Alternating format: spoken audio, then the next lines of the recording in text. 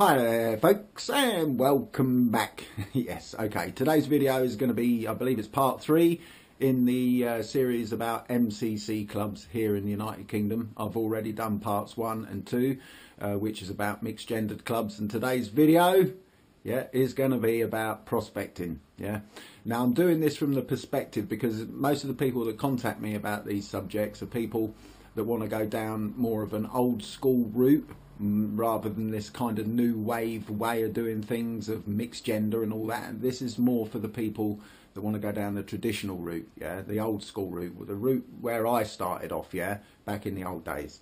So now we're going to be talking about prospecting, and uh, this is one that comes in quite a lot. As an MCC club that wants to be old school traditional, should we have a long or short prospecting period. Now, my mind has always been one way. Yeah, I'm I'm pretty blinkered really when it comes to this this topic uh, in regards to prospecting to get into an MCC.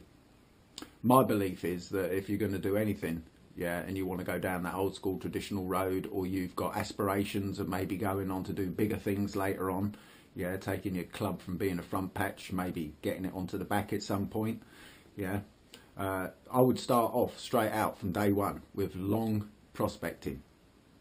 Yeah, long prospecting.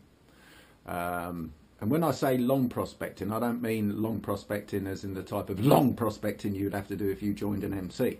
I'm talking about long prospecting as in the space of around about 8 to 12 months. Do I agree with that? Absolutely. If I was to start an MCC tomorrow with a group of guys, that would be one of the very first things that gets put in the rules yeah, you have to prospect for an absolute minimum of eight to 12 months. Yeah.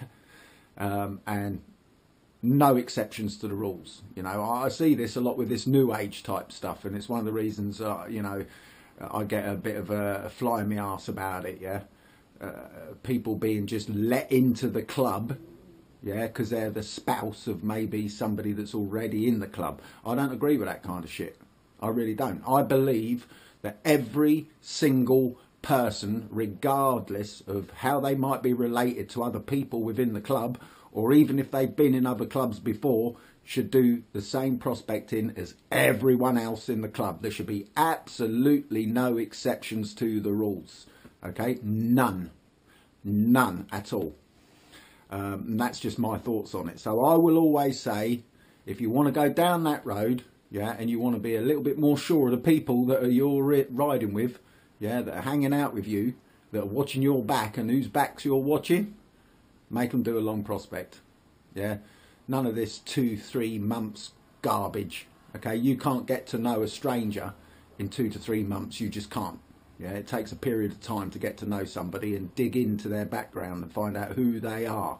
They might have some dodgy convictions and stuff. Yeah, the peop- that sort of thing you might not want associated with your club, and that's another reason why I'll always say if you're going to go down that route, yeah, and you want to do things that are more old school and traditional, the way that we used to do it, yeah, prospect for a long time, so you can really dig into these people's past and find out who they are. Yeah one of the things that uh, the MCs do is they dig and dig and deep. They want to know who is in their club with them. Yeah, and you should be no different if you're going down the old school traditional MCC route. Okay, uh, so that's the video for today. Yeah, I'll always advise long prospect. I will never advise short prospect. Not for an MCC club. It's different if you're a, a riders club or a riders association or a bike club or something like that. But once you put MCC on, mm -mm, long prospect. Okay, long prospect every single time.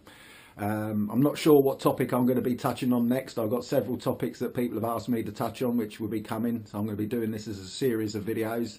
Um, I'll probably touch on uh, quantity over quality because that kind of knocks on from what we're talking about today with prospecting.